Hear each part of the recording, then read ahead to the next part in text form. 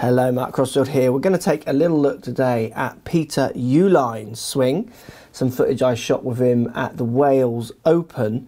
Um, Peter uh, has a very interesting swing actually. He does a lot of very good things and quite powerful things, but he does one thing on the follow through which is really quirky to him, which I've not seen particularly before from his caliber player. And I think it's something that lots of you would think is a fault. Um, let's show you what I mean. Let's get stuck in.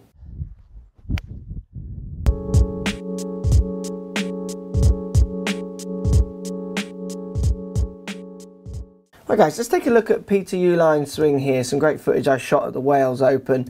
Peter has a pretty textbook setup. If anything, his right hand, his bottom hand, is a fraction what people would call under the club.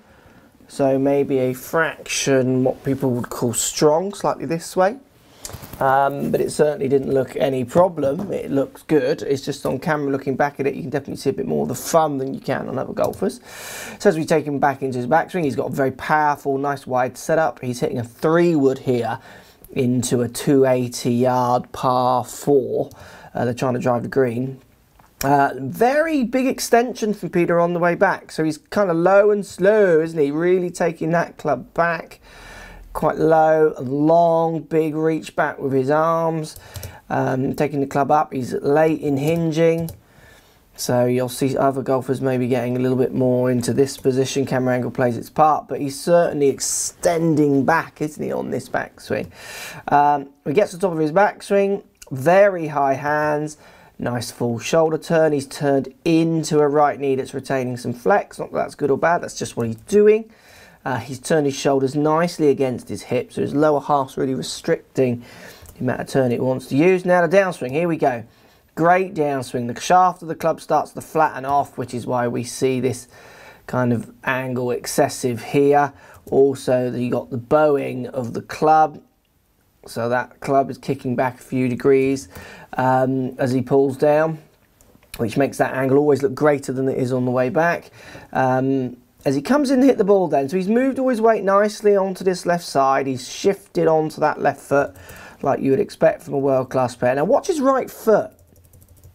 So as he comes down and hit the ball, his right leg, right foot straightens and kind of gives up. I mean, if I would take Peter to that position, um, I reckon if you took all the branding away from that, you would struggle to guess what handicap he is from that picture. I think lots of people would really struggle to guess the handicap range. Very strange position with right foot and the right leg locking that way. And then as he goes through, right foot, right leg kind of relax and he goes into a very classical full follow through. Um, Peter does lots of very good things, to be honest. Fantastic impact position going through his left arm, down through the club. He's really straightening all those angles out. So hasn't particularly got any shaft lean. He's straightening that out to try and use some dynamic loft on that three wood because he's trying to get that ball up to make the carry on this uh, par four. It's a classic golf swing apart from a very quirky follow through which is obviously well after the event. Ball's gone. It's going to make very little distance uh, or difference at that point. Good looking swing. Interesting man. I thought I'd share that with you. Lots of people trying to fix chicken wings on the way through and other bits. Um, if impact is good, which it obviously is with Peter, you can play on the European Tour like Peter as well, even if you have a quirky movement with your right foot like that. Post comments down below, love to hear, speak to you soon.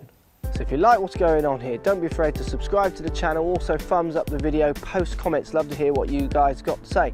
Let's keep it social. The more we talk, the more we share, the easier this game will get for, uh, for everybody. So if you want to find me on Facebook here, you can find me on Facebook. If you want to tweet me, find me on Twitter here as well. Just follow the links, all in the description. Come and join the show. Get active, get involved, get playing some better golf. Thanks for watching. Hello, Mark Crossfield here. We're going to take a little look today at Peter Uihlein's swing. Some footage I shot with him at the Wales Open. Um, Peter uh, has a very interesting swing actually. He does a lot of very good things and quite powerful things, but he does one thing on the follow through which is really quirky to him which I've not seen particularly before from his caliber player. And I think it's something that lots of you would think is a fault. Um, let's show you what I mean. Let's get stuck in.